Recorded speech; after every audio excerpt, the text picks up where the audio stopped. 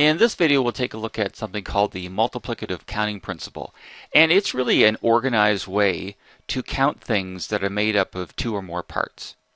So we'll start with an example. The school cafeteria offers a choice of two main courses. You can either have grilled cheese sandwiches or soup of the day. And there's five different desserts that you can choose from. Uh, jello, pudding, fruit cups, sundaes, or granola bars. So the question is, how many different lunches could you have? And we're going to solve this in a couple of ways. First of all, we're going to solve it in a like a listing way, an organized way to list things to make sure you have a count for everything. And then we'll I'll show you how to use the multiplicative counting principle to solve it as well. And then we'll get into something called a tree diagram also. So first of all, you could list, and this is the organized counting way to do it. Uh, there's main courses and there's desserts. So the main courses you can have, and we'll use a capital G to represent the grilled cheese sandwiches, and the capital S represents the soup of the day. And the desserts, I'll use lowercase letters for all those. There's the J for Jello, P for pudding, F for fruit cup, little S for sundae, and uh, little G for granola. Or sorry, I used B for granola bar uh, just to, I've already used the capital G here, so I use B for bar, granola bar. So you could list all possibilities. That's one thing you could do. And so you could go, I could have a grilled cheese sandwich and a jello. I could have a grilled cheese sandwich and a pudding. I could have a grilled cheese sandwich and a fruit cup, grilled cheese sandwich and a sundae, grilled cheese sandwich and a granola bar. So those are all the possible lunches that you could have that start with having a grilled cheese as the main course. And then we would do the soup of the day. So the soup of the day and the jello pudding. So the, the jello, jello and pudding are two different things here. The soup of the day and the pudding. The soup of the day and the fruit cup. Soup of the day and a sundae. That's the SS one. And soup of the day and the granola bar. So if you count these, you'll notice that there are 10 possible lunches that you could have. Now, the multiplicative counting principle says since we can um, select this in two different ways and this in five different ways, we could get that 10 by just multiplying 2 by 5. See, the 2 is the number of ways the first thing could be selected, and you would normally select the main course first, although you don't have to. And the 5 is the number of ways you can select the second part of the desserts. And it really doesn't matter whether you do 2 times 5 or 5 times 2, it still works out to 10. So that's the multiplicative counting principle way to do it right here, not the, all the listing. This is just to show you that the multiplicative counting principle gave you the same answer. Now, this is called a tree diagram over here. And tree diagrams can actually go left to right or horizontally across the page or go vertically. There's two different ways to draw the same thing. And so this first line here and line here represents the selection of the uh, main courses. So you could select, so kind of this is your starting point. You could go along here and have a grilled cheese sandwich, or instead you could go along here and, and have instead the soup of the day. And then, so let's say you selected the uh, grilled cheese. So there you could select the jello, you could select the pudding, you could instead select the fruit cup, you could instead select to have a sundae, or you could instead select to have a granola bar. Even if you had instead selected, instead of selecting the grilled cheese, selected the soup of the day, you still have five different possibilities. Now, these are all what are called the outcomes. So you see, if I go along here, GJ is grilled cheese sandwich and the jello. And to get to this point, I go grilled cheese sandwich and the pudding grilled cheese sandwich and the fruit cup. So notice that this is actually just listing exactly the same thing we listed over here. So for example, this last one down here is the event that uh, we selected to have soup of the day and a granola bar. So that's the SB. Uh, this one right here, soup of the day and the pudding. So again, there's the 10 possible outcomes solved by using a tree diagram. So the multiplic multiplicative counting principle says that if an action can be done in m number of ways, and for each of those way a second action can be done in n number of ways, then the two actions can be done in mn ways. You're multiplying the m by the n. The multiplicative counting principle can be extended to cover actions performed in more than two ways. In fact, any number of ways. It doesn't matter how big it could be. Example number two. John's colorblind. He has five different pairs of pants, eight different shirts, nine pairs of socks varying in color, and three pairs of shoes. How many different outfits, and we'll use that word kind of with a, a, fair bit of liberality, uh, can John show up to school in if he must wear a pair of pants, a pair of socks, a shirt, and shoes? So since he can select the number, his has five different pairs of pants. So this is all one outfit. There are five ways to select the first thing, which we'll call the pants. There are eight ways to select the shirt, nine ways to select a pair of socks, and three ways to select the pairs of shoes. And so we would multiply that all together, and so he actually has over a thousand, uh, a thousand eighty to be exact, outfits that he could possibly wear. So that's how you use the multiplicative counting principle. Now, remember, this is all one thing. There are four different parts or stages, so that's why we multiply them. It's not like there, there's two different things that there's actually an adding principle as well, but it's have you have two different possible ways to do something.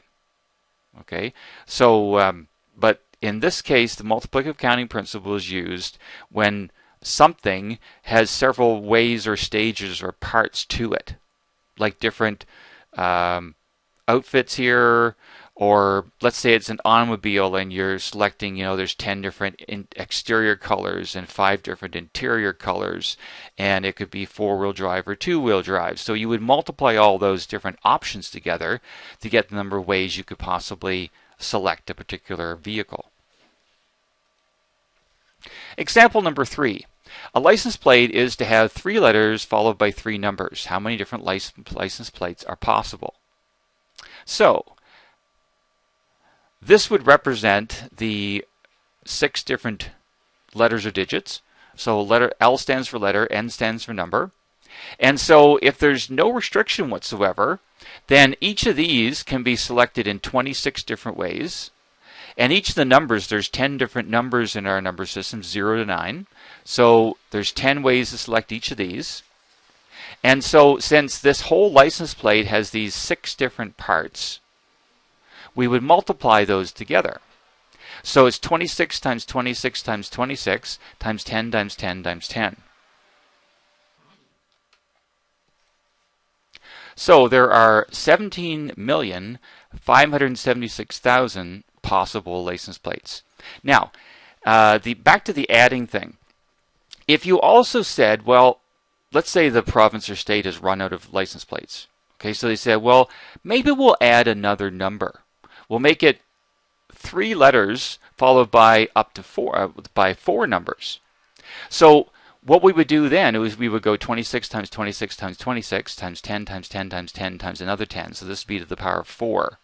And we would get a number even larger than this. So if the state or province said uh, you can have either three letters and three numbers or three letters and four numbers, then we would add that second number to the 17,576,000 to get the total number of, of possible license plates. So in that case, that's you would add the two because there's two different ways to do that license plate. You would add those two things together.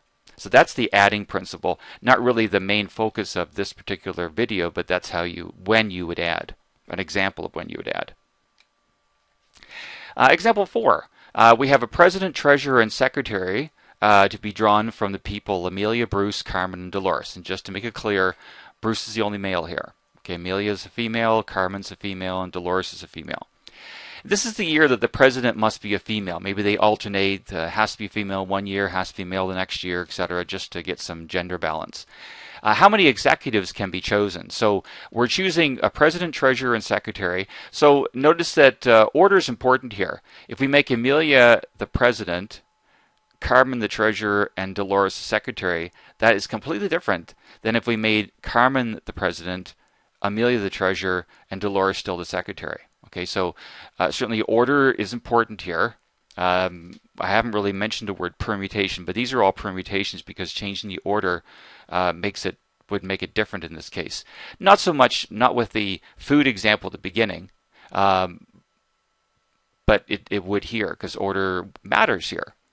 So this first set of branches is president, and this next one is the treasurer, and this next one is the secretary. And so there's four people, but if we say that this is the year the president must be a female, then Bruce cannot be president. So he's kind of restricted, poor Bruce. So we could choose to have Amelia, Carmen, or Dolores. So there's three different ways to select the president. Now, after you've selected the president, there's four people altogether, so any of the three people could be the treasurer.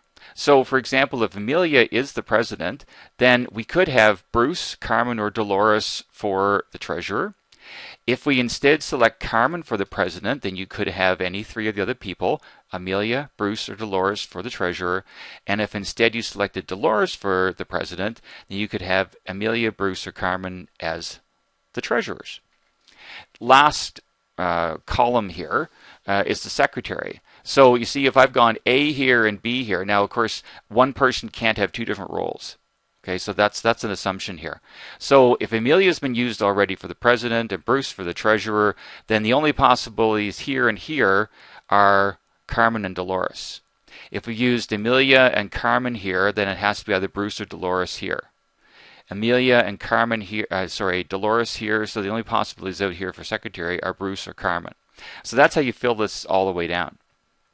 So for example, uh, this top outcome or possibility here goes is ABC. So we go ABC here and then A, B, D for the next one, A, C, B for the next one, A, C, D for the next one, etc. And we can list them all. I kind of stagger them because there's so many. These tree diagrams can get very large very quickly. So if you count them 1, 2, 3, 4, 5, 6, 7, 8, 9, 10, 11, 12, 13, 14, 15, 16, 17, 18, there are 18 possible executives that can be chosen. Now, from the tree diagram, it's easy to see how many uh, different ways for each stage there are.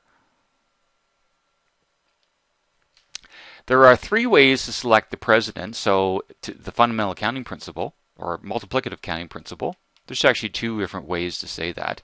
There's three ways to select the president, and then for each of these, there's three ways to select the treasurer times, and then after you use two people of the four, there's only two ways for each of these on the end. So times 2 gives you the 18. So that is how you use the uh, multiplicative counting principle to do this without the tree diagram. Uh, last example, number five here, and there's two parts to this. How many three-digit even numbers can be created if Repetition of digits is allowed, first of all, and then if it's not allowed. So I'm going to show you both different possibilities here. Now, there's 10 different digits in our number system, but you can't start a three-digit number with zero. Okay, like 053 is only a two-digit two-digit number. So there's only actually nine different digits digits we can use for the hundreds place. Now, you could have anything from 0 to 9 in the tens place and the same on the end. Oh, sorry, uh, it has to be even, I forgot. Uh, so if it's even, you can only have 0, 2, 4, 6, or 8. Uh, an even number has to end in an even number. So there's nine ways to select the hundreds digit, there's 10 ways to select the tens digit, and there's five ways to select the even number in the end to make it even. And so this is all one thing. There's nine, there's nine ways to do this times there's 10 ways to select the tens digit times and for each of those 10 ways there's five ways to select the ones digit in the end to make it even and so we would multiply 9 by 10 by 5 to give us 450 and so there are 450 possible three digit even numbers with repetition of digits allowed now just to make sure you understand what I mean by that repetition of digits allowed means you could have, for example, what let's say this number was 388. So I've repeated the 8 here. Okay, I mean even uh, 222 is the three-digit number that uses the 2 every single time. So in the uh, first part here, repetition of digits is allowed. Over here, not allowed means all the digits have to be different. So these are okay for A here, but not for B. We can't repeat digits in B. Now, it does complicate things just a little bit uh, when repetition of digits is not allowed. So first of all, I'm going to say the hundreds digit has to be an even. There's two different cases here, and then down here will be if it's an odd, starts with an odd number. Now this is still 0 to 9, but different than these two numbers, and this would have to be still 0, 2, 4, 6, or 8. So there's five ways to do that. So there's four ways to select the first number to be even. It can either be 2, 4, 6, or 8. Now, if I've used an even number here, then I don't have five different choices for the uh, digit in the end. I only have four because I've already taken one even number here, and so there's only four possibilities here. Now, I've used a digit here and a digit here, so two of the 10, so that's why there's eight different possible ways I can select the tens digit. And so we multiply those. So 4 times 8 times 4 is 128. So there's 128 of them that start with an even number. And of course, end with an even number.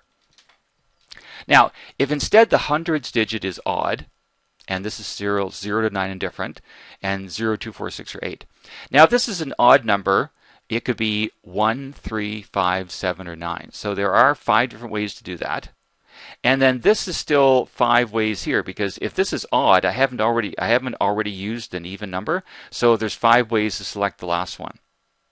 But I've used a digit here and a digit here, so there's eight ways to select that digit because I've used two of the 10 between the first and the last one, the hundreds and the ones. So 5 times 8 times 5 is 200. So we would add these, kind of like that license plate example, because uh, there's 128 ways if it starts with an even number, there's 200 ways if it starts with an odd number, so that adds to 328. So there's 328 three-digit even numbers with repetition of digits not allowed. And that's the end of the video.